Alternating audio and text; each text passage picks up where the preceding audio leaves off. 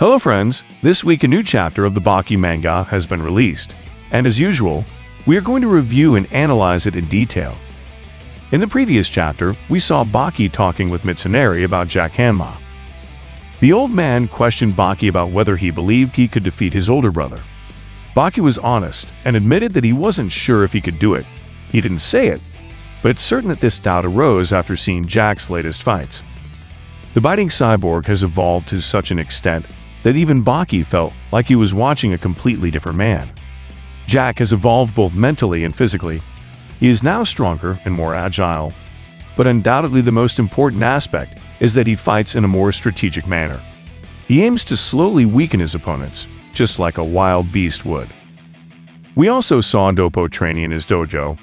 He was showing his techniques to Katsumi, but admitted that this wouldn't impress Jack. So, no matter how flashy a technique might be, it wouldn't be effective if it didn't cause real damage. After mentioning Jack, everything seems to indicate that he could be Jack Hanma's next opponent. Personally, I think it would be a good choice to put Doppo next in line. He is one of the strongest fighters and would surely pose a greater challenge for Jack. Speaking of Jack, at the end of the chapter, we saw him in a restaurant accompanied by none other than his father, Yujiro Hanma.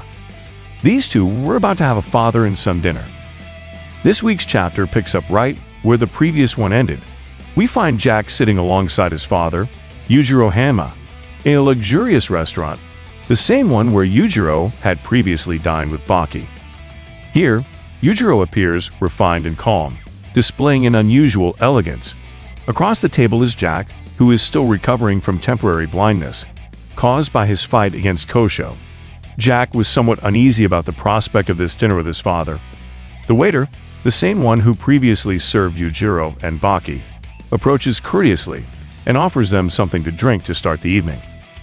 Jack immediately responds that yes, he would like a large glass of water. The waiter asks if mineral water would be okay.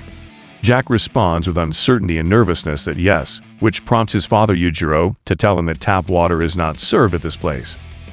These words make Jack even more nervous, who asks what other kind of water they serve here. The waiter very respectfully responds that it could be regular mineral water or perhaps with a touch of carbonation. Immediately, Yujiro interrupts again asking what the point is in offering that to someone who asked for plain tap water. The waiter immediately apologizes to the ogre for his clumsiness, which heightens the nervousness and tension Jack was feeling at that moment. Yujiro asks the waiter to bring them two large glasses of dry sherry. The waiter immediately takes their order and bows. Once their glasses arrive, Yujiro picks up his with his right hand and raises it to the level of his head. Jack very quickly tries to replicate this movement and nervously says cheers. Both delicately clink their glasses and then proceed to drink their liquor. It was something difficult to process. Seeing Yujiro making a toast with Jack Hanma was something we never thought we would see. Yujiro, who had consumed his entire glass in one gulp, looks at Jack and tells him he had never seen anyone drink a glass of sherry like that. Jack begins to savor the liquor, swishing the liquid from side to side. The cyborg remarks that it was a very delicious drink. Yujiro says that it's clear it's his first sherry, but he should take it slow. Jack responds that indeed, this was the first time he had tried this drink, and it had also been the first time he had made a toast with someone. After these words, the room fell silent. Neither of them said a word. At that moment, the door of the place begins to open slowly. The waiter enters bringing two large plates of food, which he places on the table. The waiter tells them that the dish is carpaccio of fresh fish, a fish called sea bream that had been caught recently in the bay. As the waiter explained how the dish was prepared and its ingredients, Jack was astonished by so much information, which he was unaware of. This man only knew that it looked very appetizing and that it resembled sashimi, so he proceeds to take a good bite with the help of one of the forks. Upon tasting it, Jack notes the delicious flavor and texture it had. While he chewed and savored his food, he only thought about how delicious it was. Jack wonders if this was really fish as he continued eating, he couldn't believe how it could melt that way in his mouth. But Yujiro, with great delicacy, continued eating his dish without saying a word.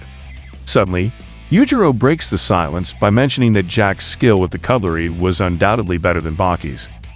These words make Jack very tense and nervous, who says that this is because he is from Canada and Baki was from Japan.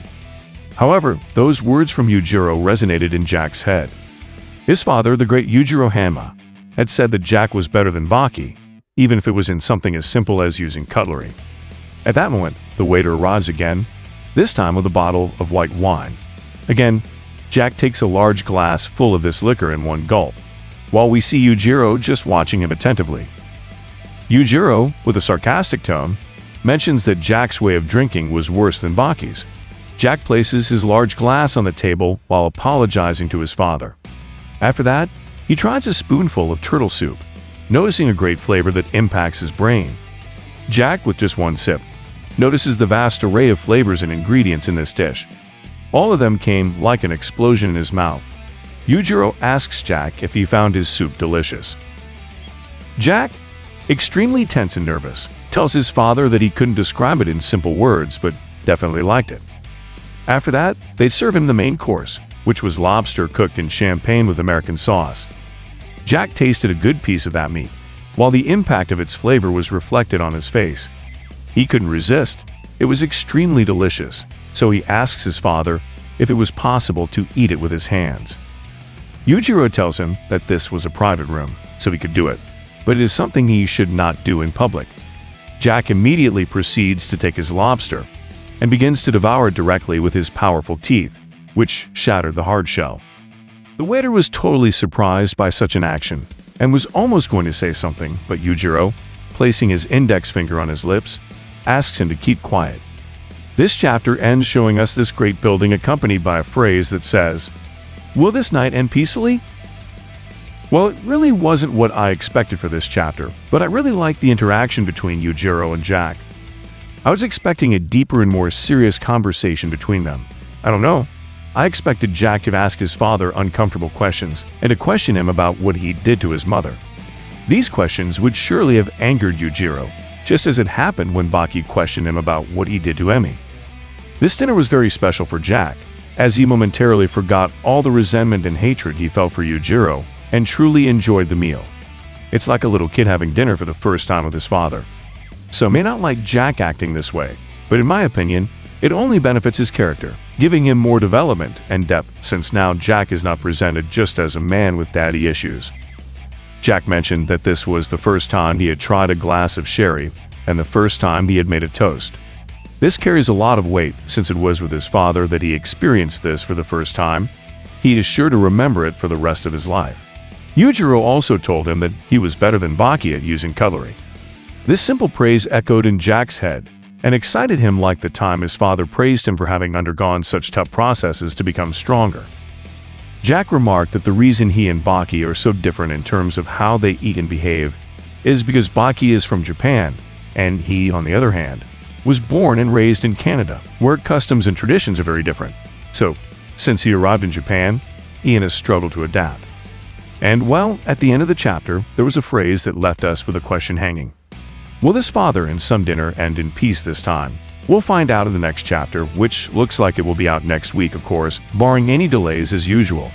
It will be interesting to see if the night continues as calm as it has been, or if Jack will finally do something to Yujiro. Another thing I would like to know is whether it was Yujiro who invited Jack to dinner. It's very strange for him to invite someone to dinner, but considering it's his son, it wouldn't be so outlandish.